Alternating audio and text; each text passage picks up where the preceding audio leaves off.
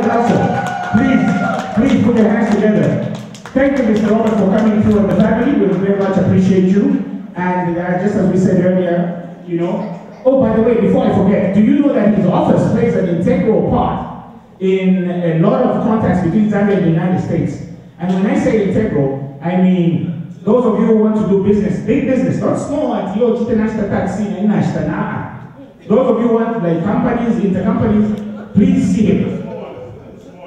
Oh, or not taxi. Okay, you to come. Yes. So, ladies and gentlemen, without further ado, the, who was the second person?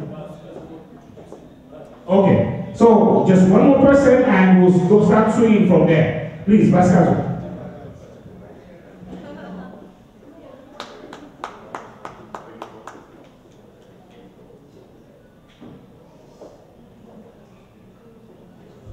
Thank you, Mr. Chairman. Uh, next in line is uh, Zambian renowned uh, broadcaster who's um, from who's from Arizona, and uh, I'm sure most of the Zambians here know Mr. Davis Ngula. He's uh, still the president of uh, the Arizona Association, right? All, all right, all right, yeah. So um, Mr. Davis Ngula will come and also give us some um, words of wisdom and uh, encouragement. Mr. Ngula, please.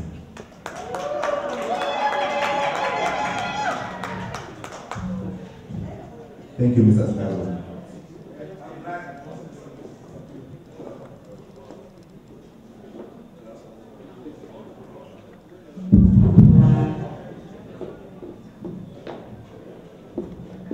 Thank you very much. I will do my best to be very brief.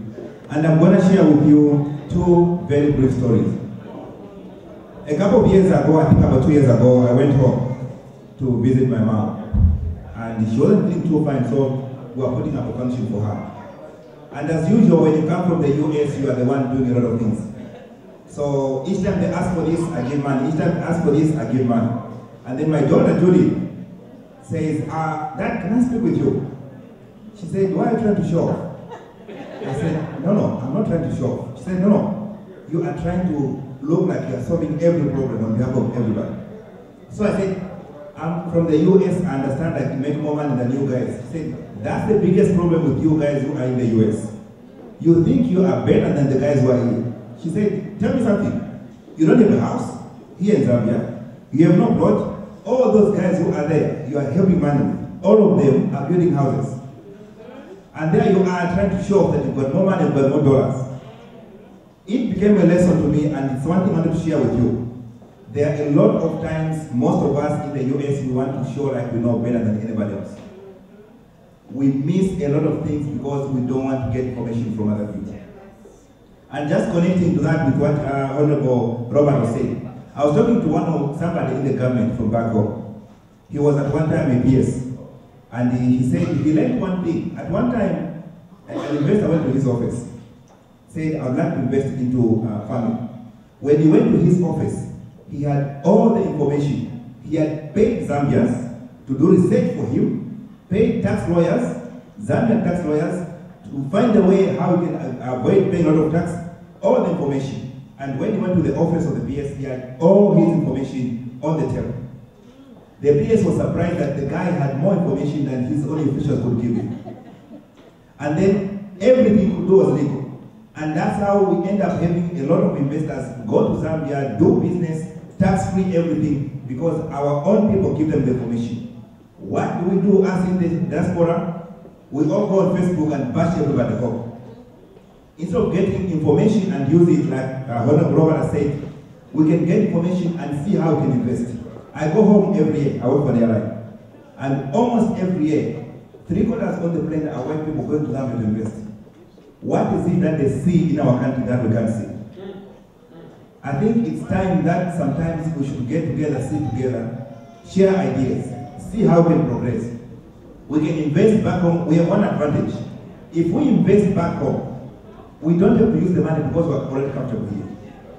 But we always say we can't invest home because if I invest home, my family will gonna borrow the money. How about the white guy from Europe? how does he invest money, employ Zambian to do, the business for him? He makes profits and takes the money back to his country. So I think we can do better and I'll say this something personal on the last minute. The last three years, a few friends have, I've told them, I've been trying to do a business on producing honey in Zambia and exporting it. I've sat for a long time trying to do it myself, not wanting to work with anybody else. And then the next thing somebody sends me an email to say there are these guys who are getting Zambian honey, package it nicely, and sell it in Europe under Harrods, and it's very expensive. And what, here I am, damn, I've been sitting on the idea for a long time. But because we don't trust each other, I can't share with anybody. I don't share with anybody, another Zambia. So it's things that I've learned that if only we can learn to put our ideas together. If let's say 10 Zambians put ideas together, they put money together and invest in Zambia, we can make a difference. We'll stop whining about Chinese investing in Zambia. I hope we'll take this thing and be able to invest in future. Otherwise, I agree with uh, Slap D. We'll be in this shit for a long time and we'll always be there. Thank you very much. A big hand for my judges. I want to adore I just want to acknowledge the Congolese community that's uh, visiting us. Can you please stand? Give them a hand. We are so thankful for your support. We are so thankful. God bless you. Vaseti, you are Zambian though, but uh, we're talking about uh, the Congolese.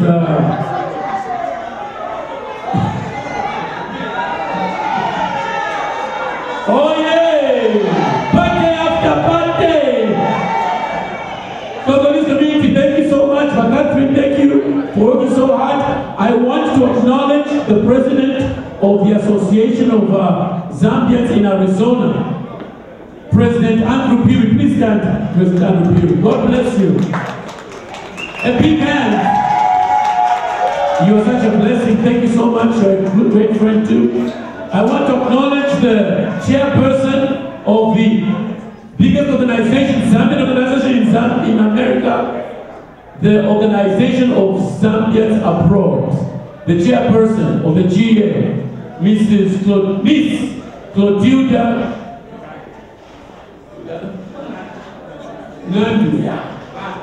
daí tem para ver se qualquer problema.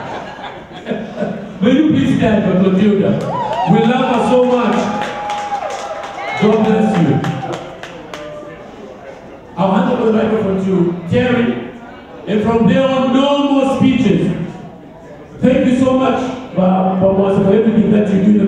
stand. No, no, please stand. You have to stand. This man is a great man. People, people don't acknowledge what he does, but he's a leader from, from Florida, and he does a lot for the Zambians uh, in our community. And I want to acknowledge all of you that do the same. Thank you so much. God bless you. Oh, by the way, I, I, I love to talk. I just remembered one other person. The vice president, I don't know if it's the former vice president, but the vice, he's going to correct me. He's the vice president or former vice president of Zambians in, not St. Louis, Indiana. Mr. Dillon Logwe. Please stand. Former vice president. Thank you so much. Now, is there anyone of the leaders that probably we haven't acknowledged? We are all leaders in here. Thank you so much. And if there's someone that actually wants a support of community, Mafayo, what are you, Papa? You're the president of Minnesota. President of Minnesota. God bless you. Give him a hand. Thank you so much. It's going to be a night of dads celebrating Zambia the whole night. This is the last end of, uh, of any. What did you say? No, no. Oh, thank you so much. I'll hand over the, microphone to you, and from now on, it's just dads. No more speeches. Are you with me? No more speeches. But first of all, let's acknowledge each other. Ladies and gentlemen, I heard you're looking beautiful. I mean, if you think you're wearing it good, ladies especially, talking to you ladies about my submission on FEMA, your jeans does not qualify as proper. Ladies, if you hear me, please just stand up so we can just see how glamorous you look. Please, just a moment of your time, ladies those detectives and those shimmers, look at that. Eh? From my table there, from my sisters from the DRC, bonsoir. Bonsoir, Madame. Yes, yes, yes, yes. Look at you. Give yourself a round of applause. You look lovely tonight. But DJ, are you ready to acknowledge the ladies? But DJ, are you ready to acknowledge the ladies? Bonfushe Koka